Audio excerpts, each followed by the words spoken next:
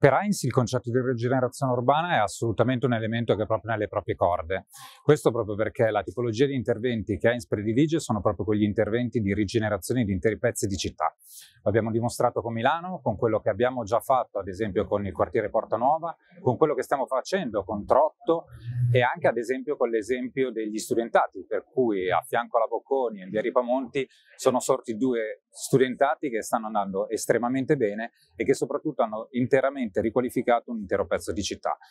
Oggi, appunto, durante questo convegno presenterò l'esempio del progetto XTM, quindi l'X8 Milano, che per noi è l'esempio più virtuoso anche della collaborazione tra pubblico e privato negli interventi di rigenerazione urbana, creando anche destinazioni che abbiano una grande valenza sociale, con un intervento anche dal punto di vista ovviamente delle caratteristiche ESG,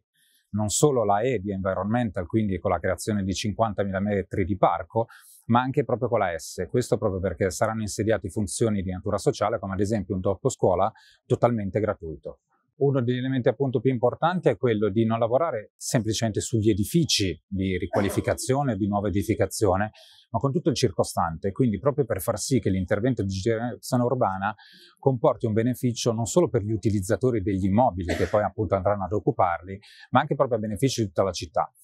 Probabilmente uno degli esempi più lampanti è proprio ad esempio Torre Velasca, a fronte dell'acquisizione da parte di Heinz e della attuale totale integrale riqualificazione della torre, uno degli elementi più importanti nell'atto di rigenerazione urbana è la restituzione alla città di una piazza, una piazza che oggi conosciamo tutti, era più caratterizzata da una serie di parcheggi selvaggi, la renderemo completamente eh, pedonale, con una piantumazione degli alberi proprio per far sì che possa diventare una destinazione, una destinazione a beneficio dei turisti ed in particolare della popolazione.